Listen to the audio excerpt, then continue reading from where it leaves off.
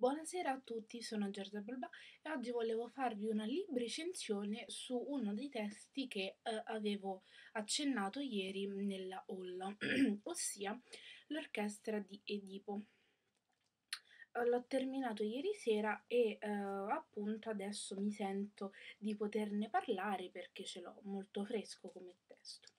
Allora, ehm, dal titolo io pensavo si trattasse comunque di un testo con riferimenti alla tragedia di Edipo o che comunque eh, fosse una storia familiare con degli accenni, con uh, boh, una tragedia comunque, con qualche riferimento. Invece no, per eh, tutta l'intera durata del romanzo non si parla nient'altro che di fatti raccontati poi in maniera più o meno eh, discutibile eh, sulla vita del, della vita del protagonista. E la cosa che veramente non mi è piaciuta è che più o meno ogni capitolo è slegato rispetto ai precedenti. Ad esempio, in un, um, in un capitolo si parla delle origini del padre nel secondo uh, capitolo magari si parla di tagli e delle muffe e del sughero. Oppure in un capitolo si parla della sordità del padre, nel, secondo, eh, nel capitolo successivo si parla di come eh, lui, il protagonista e il fratello abbiano fatto un viaggio nell'est dell'Europa e, loro, uh, e le loro varie peripezie. Dopo questo capitolo c'è eh, l'ultimo capitolo nel quale si racconta che mh, la moglie del protagonista era gravida di due gemelli.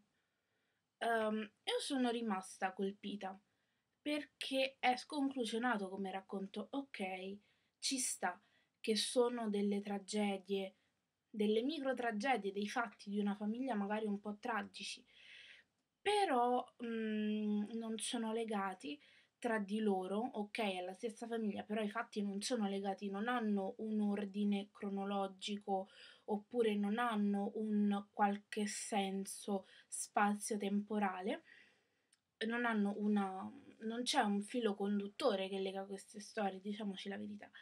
E quindi per questa motivazione io lo, lo devo bocciare.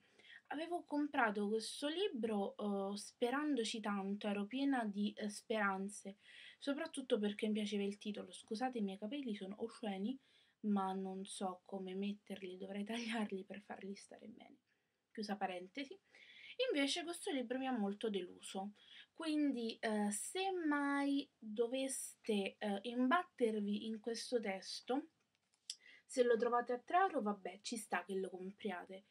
Se invece doveste trovarlo a prezzo pieno, non so se si trova, non so dove si trova, ma sicuramente se girate eh, lo trovate, eh, io ve lo sconsiglio caldamentissimamente.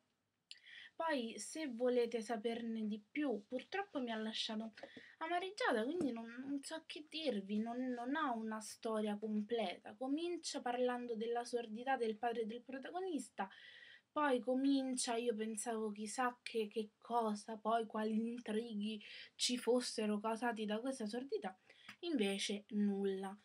Quindi mm, questa è la faccia per, la, per descrivere appieno il libro.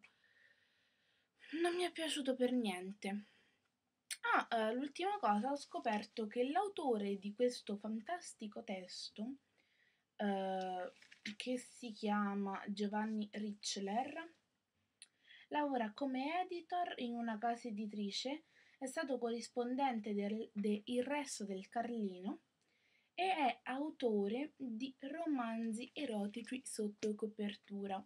Io penso che se invece di scrivere questa cacchettina avesse scritto un altro romanzo erotico, magari senza pseudonimo, usando il suo vero nome, l'avrei apprezzato maggiormente.